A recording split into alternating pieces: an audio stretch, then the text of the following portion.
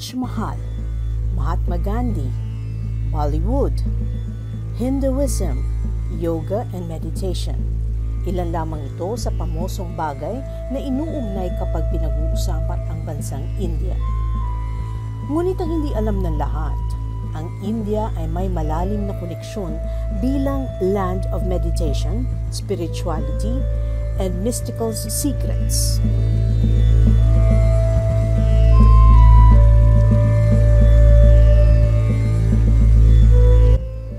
Naman, minabuti kong isama ito sa mga listahan ng ating mystical journey.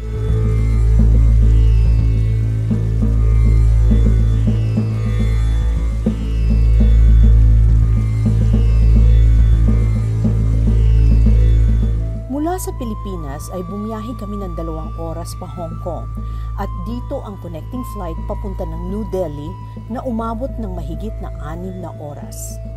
Pagod sa mahabang biyahe pero excited na makita ang Taj Mahal na puno din ng mistisismo.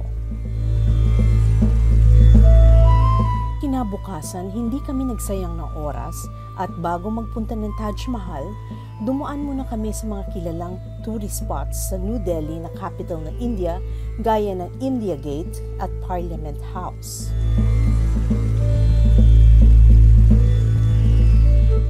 Ayon sa nagsilbing tour guide namin sa New Delhi na si Wahid Ahmed Baba, ang India Gate ay simbolo ng independence ng kanilang bansa. Our hero's name is written in front of India Gate. Oh, see, that's called that's called the India Gate. Natsyempuhan namin na may seremonya sa India Gate at may mga militar at mga asawa ng general.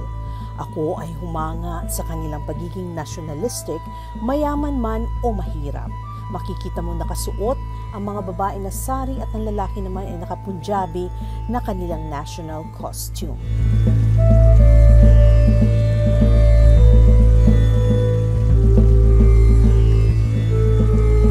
Mahigit tatlong oras ang biyahe mula New Delhi patungong lalawigan ng Agra kung saan matatagpuan ang Taj Mahal.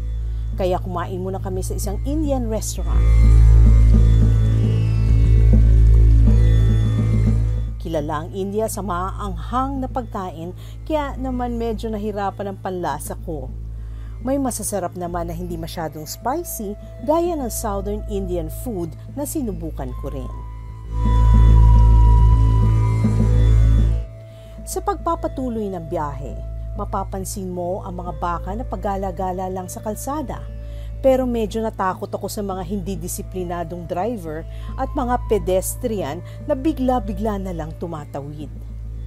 Maya-maya pa bumungad na ang entrance ng Taj Mahal at hindi ko maitago ang excitement habang naglalakad sa South Gate papasok.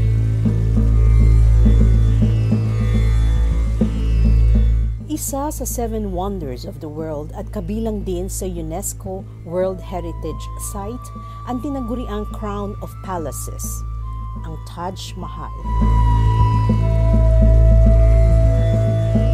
Sinalubong kami ng aming tour guide na si Gito Pondar at ipinaliwanag niya ang kaysaysayan ng Taj Mahal habang pumapasok kami sa Royal Gate.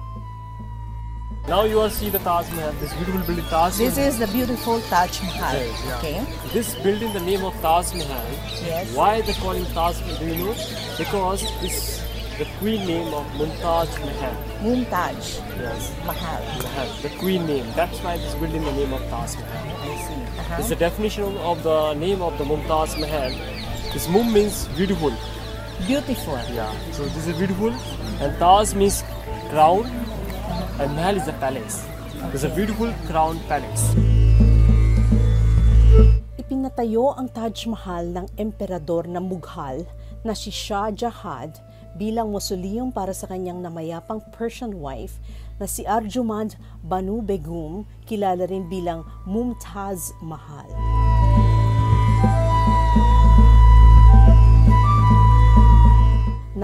Napakaraming turista sa paligid kaya napakahirap kumuha ng magandang anggulo para sa mala postcard na larawan. Habang naglalakad kami sa garden, ay manghang-mangha ako sa kakaibang charm and presence ng architectural wonder. Hanggang papalapit ay lalong kumikinang ang Ivory White Marble Museum kapag tinatamaan ng araw.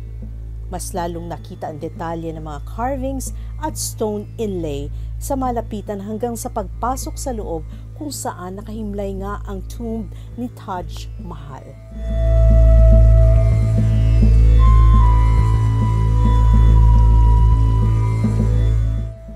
Ang ganda ni Taj Mahal ay binabalot din ng hiwaga.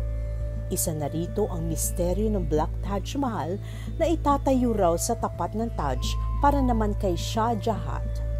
Iba't ibang eksperto ang nagtatalo-talo sa paniniwalang ito. Iba't ibang hiwaga, kwento, tula, awit at ginawang inspirasyon ang Taj Mahal. Dagdag ni G2, anuman daw ang bumabalot sa ganda at mistika nito, sa huli ito ang totoong simbolo ng pag-ibig.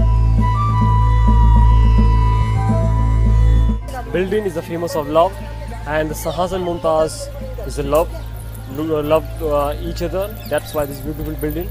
And then after the Mumtaz died, Shahjahan is a missing for Mumtaz, and Mumtaz telling the Shahjahan, after my death, you made a beautiful building for is a as a love, as a symbol of the love.